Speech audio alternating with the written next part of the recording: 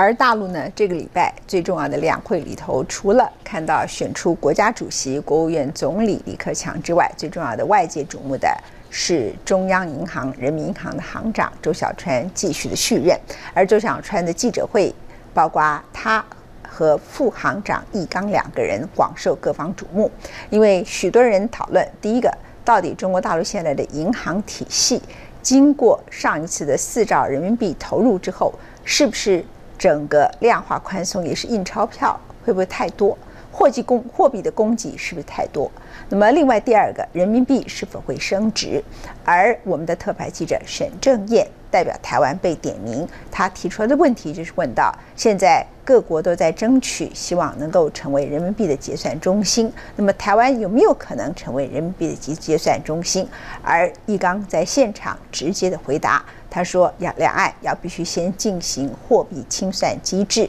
那么他语带保留的表示说，至于能不能成为人民币结算中心，要看台湾自己本身有没有足够的量成为国际金融的中心。目前为止呢，它整个按呃国家以外的主要的人民币。”在国家境内以外的主要的人民币的结算中心呢，一个就是香港，另外一个就是英国，在伦敦的地点。那么台湾可不可以成为整个境外的人民币中心，完全是要看台湾自己的金融发展。那非常值得注意的是，整体周小川的记者会里头，从头到尾最重要的四个字，就是他们的货币政策最重要的就是抗通。货膨胀，那这抗通货膨胀，通货膨胀变成今年货币供给最重要的一个要件。那么因此呢，大家会注意到，可能人民币还是会适度的升值。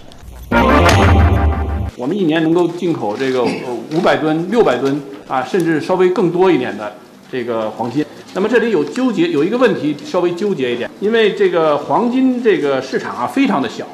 啊，如果你即便是这个使劲的这个投黄金。它在你整个，比如说我们现在有三点三万亿美元的外汇储备，它能够分散的也就是这个 百分之一啊左右，百分之一一到百分之二这样一个呃呃分散化的一个可能性，因为这个市场太小了。如果我们这个时候这个使劲的这个呃投黄金，官方投黄金的话呢，有可能把这个黄金的这个价格呢打得更高。呃，中国的这个货币政策呀，呃，是为四项目标共同服务的，呃，包括呢这个呃低的物价水平，是吧？呃，也就是低通胀，是吧？第二一个呢，要促进经经济增长；第三个呢，要促进就业；呃，第四个呢，要保持这个国际呃收支的基本平衡。但是呢，这个在绝大多数情况下呢，中央银行最强调的还是物价稳定这个目标。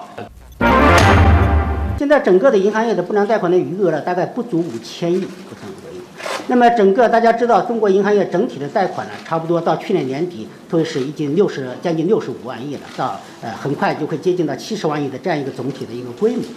那么不良贷款的比例呢是零点九五，零点九五。所以呢，无论从不良贷款的余额啊，还是从不良贷款的这个比例的这个角度来说呢，中国银行业的它的这个呃呃资产质量水平呢，都是比较好的。地方政府融资平台的风险，呃，这个，呃，是应该定量化分析，既不要这个，呃，这个低估了它的风险，也不要呢，就是忽然说的呢，就是好像这个已经不得了了，这个风险已经是这个这个非常非之大了。呃，地方政政府融资平台里头呢，有相当大一部分。呃，是这个，实际上呢是这个项目型的这个贷款，这个所所谓呢，也就是市政基础设施、这个市政公用设施，但是有收费能力的呃这种贷款。那么这种贷款呢，如果银行掌握的这个适当是吧，这个事先分析到位的话，呃，不一定会出现这个这个偿付上的呃问题。这个城镇化的进程中啊，啊？呃，我们有一些这个地方政府应该做的事儿，但是呢，没有合适的这个融资渠道。呃，那么的金融市场呢，还应该考虑呃，通过改革，呃，通过引进新的金融工具，呃，来使得呢，这个一些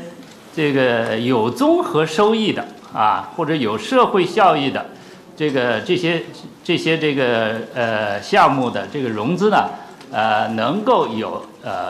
呃获得金融市场和金融服务的支持。一个地方它是一个离岸中心，那么它主要呢是由这个市场的力量啊，比如说这个贸易的结算伙伴、金融机构，还有这种需求啊，并且呢这个比较集中在一个地方，将来的这个发展呢啊可能啊，比如说在全世界啊有一些这个重要的这个金融的中心成为。这个人民币的这个离岸中心，那么主要呢还是看这个当地的需求和这个市场竞争的结果。这一点呢，有些呢是这个水到渠成啊，瓜熟蒂落。